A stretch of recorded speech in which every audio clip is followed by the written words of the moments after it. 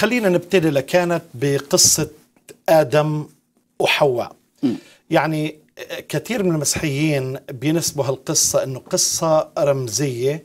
الله بعلمنا يعني درس أدبي درس آه، روحي من خلال القصة. كيف فينا نصالح الموضوع بما حدث مع يسوع المسيح على الصليب؟ يعني على سبيل المثال لما يقول لنا روميا أصحاح 5 عدد 12 كأنما بإنسان واحد دخلت الخطية إلى العالم وبالخطية الموت وهكذا اجتاز الموت إلى جميع الناس إذ أخطأ الجميع. وبعدين يكلمنا عن آدم الذي هو مثال الآتي. عندما يقول يكون آدم مثال لشخص آه، سوف يأتي اللي هو المسيح الذي أتى. آه، باعتبار آدم رأس جنس والمسيح رأس جنس جديد.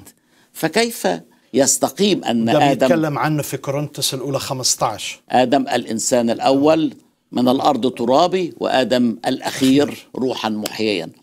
والمسيح استشهد بقصة آه، آدم وحواء. من البدء خلقهما ذكرا وأنثى. إذا ليس بعد اثنين بل جسد واحد. لما بيسألوه الفريسين يحل لنا نطلق لكل سبب؟ قال لهم لا. نعم. من البدء لم يكن كذلك واستشهد بقصة آدم وحواء وقال العبارة الجميلة من أجل ذلك يترك الرجل أباه وأمه ويلتصق بامرأته ويكونان جسدا واحدا